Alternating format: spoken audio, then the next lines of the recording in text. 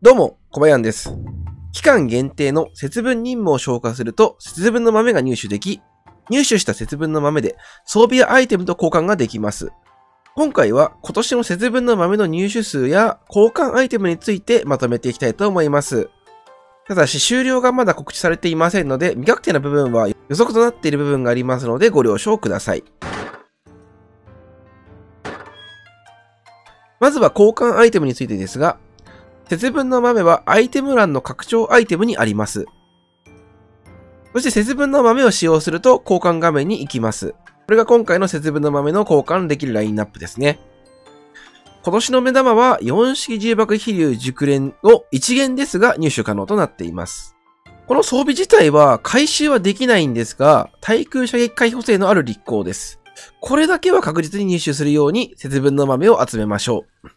さらに節分任務の消化での節分の前の入手量に応じて、階層設計図や97式観光熟練の入手もできます。まあ、ただ、この97式観光熟練は現状使い道はあまりない装備なので優先度は低めですね。ちなみに総流会にで入手ができます。注意点としては、4式重爆飛竜熟練と97式観光熟練は、交換には開発資材も必要なので注意が必要です。続いて節分の豆の入手についてですが、節分の豆は、節分任務を達成することで入手ができます。今年の節分の任務は5つあります。1つ目が節分任務、節分演習2023。これが出入り任務ですね。1個入手できます。で、出席任務3つですけれども、節分任務、節分作戦2023。これがウィークリーで豆が2個入手できます。で、節分任務、南西海域節分作戦2023。これもウィークリーですね。で、これ豆が3個。そして節分拡張任務、節分作戦2023全力出撃。これがマンスリー任務で、豆が4個。そして節分任務、令和5年節分遠征任務。これが単発で、選択報酬ではありますが、豆3個入手できます。例年の節分任務と違い、今年は拡張任務がマンスリーであったり、遠征任務でも豆の報酬が入っていました。次に節分の豆の入手量のシミュレーションをしていきたいと思います。今年の節分任務は3週間以上予定と告知があるので、終了のメンテ日を2月21日と予測します。去年も同じような3週間以上という告知の中で、1月21日から2月22日まででした。まず2月21日までとしたら、メンテ前までのデイリー演習をすべて消化することで、31個豆が入手できます。ウィークリー任務が、まあ、6週間分となるので、1つ目の任務を毎週消化で12個。そして2つ目まで消化すると30個になりますね。そしてさらに拡張任務を、まあ、1月2月と1回ずつ消化して8個。そして遠征任務達成で3個ですね。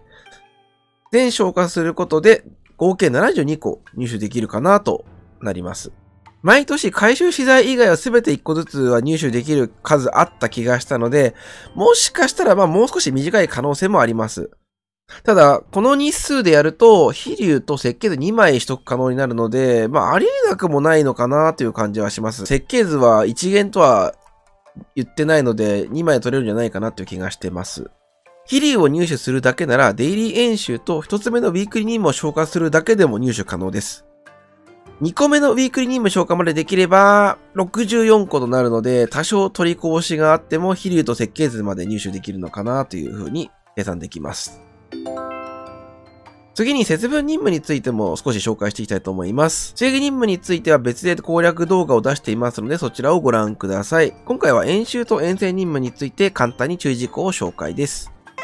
まず、演習任務ですが、これ指定艦が軽巡か連巡を2隻。軽巡1、連巡1でも OK ですね。そして駆逐解剖艦を3隻。こっちも駆逐と解剖艦が合計で3隻いれば OK というのが条件になっています。今年の演習任務かなり難易度高めなので、単艦放置編成を逃さないようにしたいですね。次に遠征任務ですが、行かなきゃいけない遠征は多いんですけれども、最大でも6時間の遠征なので、1日あれば1艦隊で全ての遠征完了できます。遠征も北方海域の遠征まで一通り達成していれば、必要な遠征は出ているかと思います。次に遠征任務の達成報酬なんですけれども、選択報酬2つありますので、紹介したいと思います。1つ目、基本的に節分の豆を選択でいいと思いますが、入手量次第で豆が不要なら他の選択でもいいかもしれません。二つ目。ここでは2022年11月のランカー報酬だった錦爆雷会議が選択にあります。現状他に入手方法がなく、今後追加性能があるかもしれませんので、錦爆雷会議を選択がいいです。以上が節分任務報酬のまとめでした。今年も節分の豆で強力な立候補に交換できますので、頑張って任務消化をしていきましょう。それでは動画は以上になります。この動画が少しでも参考になりましたら励みになりますので、高評価、チャンネル登録もぜひよろしくお願いします。それでは最後までご視聴ありがとうございました。